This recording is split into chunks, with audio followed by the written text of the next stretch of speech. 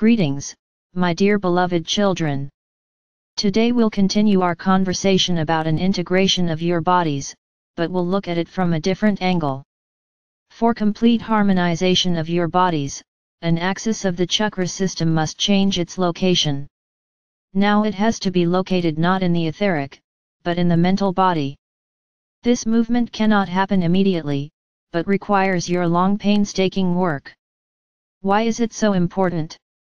It is because your chakra system is the divine instrument of control of all your subtle bodies.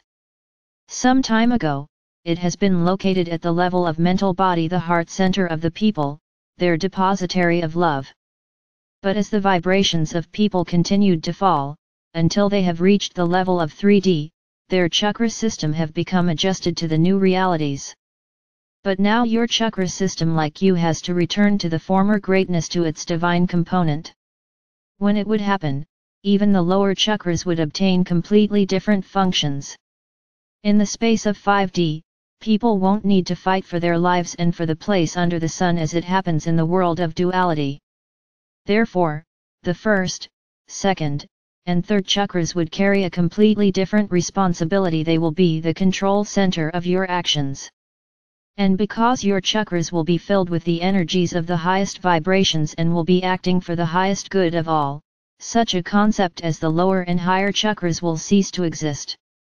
They will become the divine sensory organs of the 5D. First chakra will be responsible for the orientation in space.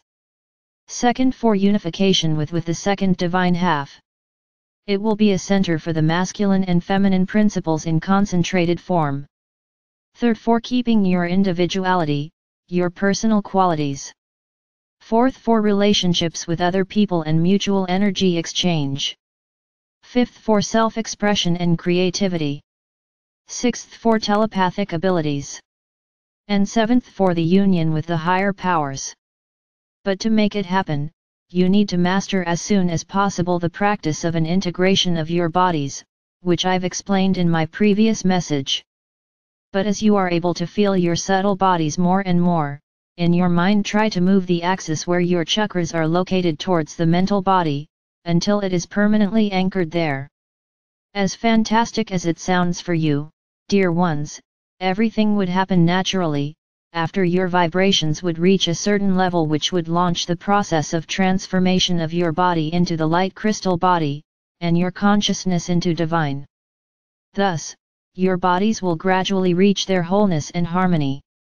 Your Father Absolute, who loves you without measure, has spoken with you.